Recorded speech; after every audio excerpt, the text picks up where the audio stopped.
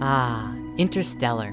A simple, elegant movie about a farmer, his family, bunch of dust, and a transdimensional interstellar quantum gravitational space travel adventure. Seriously. So the basis of this movie is that in the future, the Earth has become a global dust bowl due to humanity being excessive.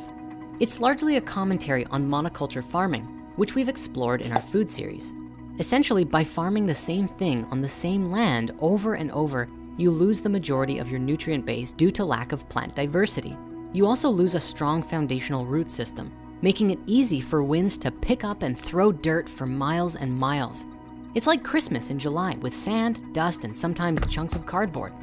Interstellar begins with this warning. If we continue living the way that we are, this could be our world. So the film introduces us to our main characters, Cooper, or Coop for short, and his daughter Murphy, or Murph. Now, there's an interesting thing in these opening scenes where we see Murph's teacher talking to Coop about his daughter's progress in school. She remarks about how the moon landings were fake, entirely propaganda from the US government in order to fool the Soviets into pouring their resources into a space program so that the Americans could gain an advantage in the war. It's so interesting seeing a Hollywood movie talk about this because of course, if you Google this, there's massive conspiracies today that say the moon landing was fake. Then again, we also have ex-NASA officers and astronauts who publicly have said, basically, yeah, we went up there and met a bunch of aliens and it was so crazy that NASA hid it from the world and we never went back. Now, you can learn more about that in our Sumerian Epic series. Ultimately, you have to decide for yourself on this one. But still, interesting that we see it mentioned in Hollywood. Now, in many storylines today, we see this narrative of the hero's journey, which often begins with a call to adventure. Interstellar features this through strange gravitational anomalies vibrating Morse code patterns in Murph's bedroom, which Coop and Murph translate to be coordinates to a nearby location. They make their way there and find none other than NASA. In this movie, NASA is a driving force of the plot, providing the technology and the plans to execute a journey into a wormhole way out near Saturn. Now, I'm not here to get into the drama and conspiracies against or for NASA, though certainly these exist out on the internet. Curiously, we even find a spiritual lesson about this in the film itself, and we'll come back to that soon. In these scenes, we see the opposing mentality of the many versus the few. Almost everyone in this future world are just concerned with farming. They're focused on survival and just getting enough to make it through to the next season, even though their crops are slowly growing smaller and smaller. The few, on the other hand, such as Coop, exclaim, we used to be pioneers, explorers, adventurers, not just trying to survive. And this becomes a question we can personally ask ourselves. Are we pushing the boundaries of what we know, or are we just trying to get by in life? So with the discovery of NASA, we learn about this wormhole, a link through the space-time into another galaxy where there might just be a way to save their dying species. And so Coop, Anne Hathaway, and two other characters who don't make it to the end all get in a rocket ship and blast off into the universe with the intention of saving the human race, bringing with them some unique and friendly robots and a bunch of test tube humans that they plan on growing somewhere. And their intention is that if they can, maybe they can even transport some people to their new homeworld. Perhaps one of the most fundamental hidden spiritual truths of this movie is that the deeper you get into science, into the unknown, into the universe, the more mystical reality gets. We see this with the wormhole itself. What's amazing about this wormhole is that it was actually produced using the mathematics of an actual wormhole according to general relativity. The visual effects artists worked with renowned physicist Kip Thorne and used a mathematical representation of a massive black hole and they plugged it into their VFX generator and this is what it turned into. They even produced a scientific paper about it. So this is an actual wormhole simulation and not just a fancy visual effect. Now, maybe this is just me, but watching the sequence of going through the wormhole felt to me like my mind was expanding, like reality was actually being stretched, like more was possible than it was before. It feels to me like this was almost an encoded message for the audience watching the movie, implanting within us this idea of what it looks and feels like to actually perceive space-time differently, getting us ready for our own transcendent evolution of consciousness which is the underlying subplot of the movie. Now, on the other side of the wormhole, they have these three planets to visit in hopes of finding a new home for the human race. Their first guest takes them on a short trip to Waterworld where they go surfing and chilling in shallow tide for the equivalent time of 23 Earth years. It doesn't go so well, and when they finally return to their ship, they're limited on fuel. So then there's this moment where they have to make a decision on which of the two planets to visit next, and they better pick well. It's at this point revealed that Dr. Hathaway is in love with one of the astronauts on one of the nearby worlds, Dr. Edmund. And there's this very rousing speech from her about following our hearts, that love is powerful. It has to mean something. Love is the only thing we're capable of perceiving that can transcend the dimensions of time and space. Honestly, it's an overall very moving and emotional scene. It might even make you cry. And now this is Hollywood. So of course, the man immediately takes control of the situation and steers directly towards the other guy, the legendary, the one, the only, Dr. Mann. Now I give him a little hype just now because this is how Dr. Mann is portrayed in the film. He is a legend, the best of the best. He was the one who brought everyone together and made this mission possible. And then, well, this happened. I'm sorry. Because I'm gonna save all of us. For you, Cooper.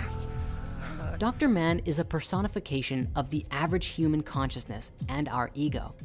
I mean, his name is literally man. He is the one who could create miraculous things, but watch how quickly that personality can turn when it is filled with fear, dread, and isolation. This is what happened with Dr. Mann. He was isolated, stranded alone on a frozen planet with nobody else for the rest of his eternity. The last time he went into cryosleep, he didn't even set a wake-up time.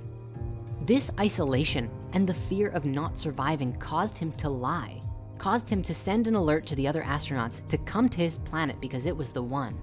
It caused him to betray his comrades and in arrogant defiance of the truth, even got himself killed. A valuable lesson for all of us. We must not arrogantly defy the truth or we will suffer horrific karmic repercussions.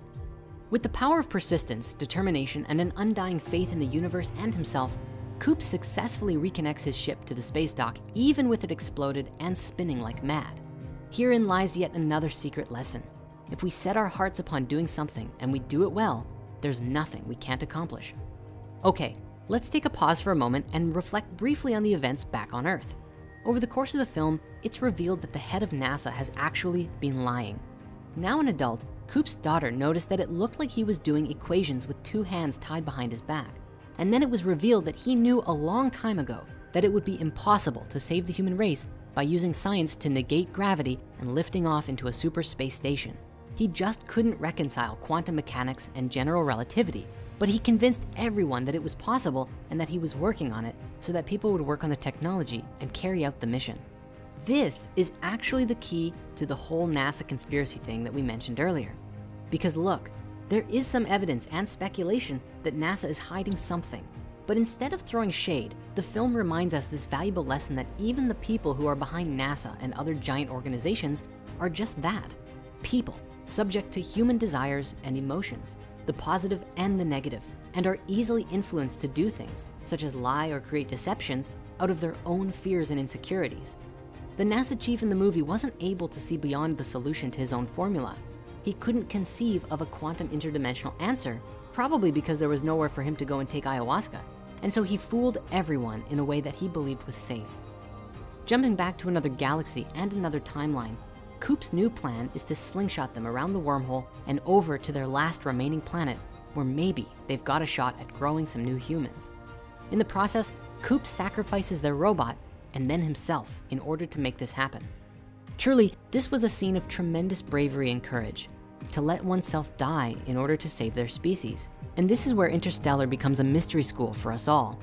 Cooper falls into a massive sphere inside the black hole and then it becomes these tunnels of lines, revealed to be pockets of time. On the other side of the lines is his daughter's bookshelf, where he connects through his radio with Tars, his robot buddy, also trapped inside the wormhole, who explains that he is inside a three-dimensional manifestation of a fifth dimensional timeline. It's time represented as a physical dimension, and Cooper is able to manipulate gravity from inside this time matrix because gravity is the only thing besides love that can go forwards and backwards in time. Cooper realizes that the gravitational anomalies that he saw at the beginning of the movie were him all along. giving himself messages from the future. He realized that the whole time, all of the astronauts have been thinking, wow, it was them who have been helping us all along, alluding to some higher dimensional alien species. But truly, that them was us. It was the evolved human consciousness who became fifth dimensional beings through conscious evolution and sent gravitational anomalies through time in order to help humanity evolve in the first place. What's especially amazing about this is that that's exactly what the channeler Bashar has been saying in his channelings for years. That who he is channeling is himself from the future who, along with the rest of humanity, has evolved to a higher consciousness. And he's sending back information from the future about human evolution and how to make it happen. Now, here's a fun question that the movie doesn't actually get into, or maybe it does secretly. Why did the wormhole bring him there? Why that moment in time? Why the other side of his daughter's bookshelf? Well, in the bigger picture of the story, it's obviously because his daughter was the genius who could actually finish the mission and get quantum gravity liftoff to the Earth tech and save humanity. However, that's only half of the answer. The other half is because of something Dr. Mann said. He said, when you're about to die, you push a little farther to connect with your family and live longer. The reason he went to the bookshelf was probably just as much because that's what his subconscious manifested for him, because his loved ones were what he wanted most in life. Almost all of his driving actions in the film were because of his love for his children, embodying the true spirit of the word husbandry, the original meaning of which speaks to the nurturing and supporting of everything around the masculine father energy. The film asks us, what is it we truly care most about in our heart of hearts?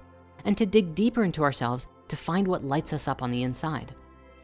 And so Cooper transmits the quantum data to his daughter through time using Morse code, and then he disappears into the void and wakes up in a hospital bed. A very long time has passed since he first left home, and his daughter is now an old woman on her deathbed. But plan A is now fulfilled. Using the data Cooper was able to send through the wormhole, young Murph was able to solve the gravitational propulsion problem to get plan A and the massive space station where Cooper awakens out into space. In an absolutely heart-shattering scene, she tells him to leave her. She'll be with her new family now, and that he should go and be with Anne Hathaway and start a new life on a new planet and raise a new generation of humans. And so, that's what Cooper does, bringing this film to an end. But the hidden spiritual meaning here goes on. The foundational message of Interstellar is not what most people think. The greatest idea conveyed here is that of human evolution that one day we will evolve into a higher dimensional species capable of perceiving time differently, fundamentally different than the way we do today. However, it will take us some time to get there, and it's up to us to make it happen.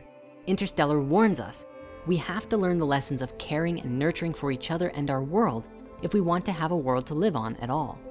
We very well could destroy ourselves with our greed and excess. In other words, we've gotta check ourselves before we wreck ourselves. One thing Interstellar does to make us feel this message is to take us through large jumps in time. After Coop's relatively short visit to the water planet, where he's there for only several hours, the audience and Coop both see their astronaut comrade and young Murph age by 23 years. After he emerges from the black hole at the end of the film, his daughter is an elderly woman. These events show us viscerally that time is always passing and compels the audience to make the most of the time that we have and shows us the deep pain of missing out if we don't seize the day every day. But there is an even deeper message from this because even if humanity destroys itself, even if we're pushed to the brink of destruction, we can always find our way back. All that it takes is unshakable faith, love, and determination to see it through and to do the things that are both scary and exciting. So get out there and evolve into a multidimensional being. If you like this episode and wanna see more, Make sure to like, comment, and subscribe. And please let us know what else you'd like to see a hidden spirituality about, and we'll make sure to cover it soon. Peace out, and lots of love.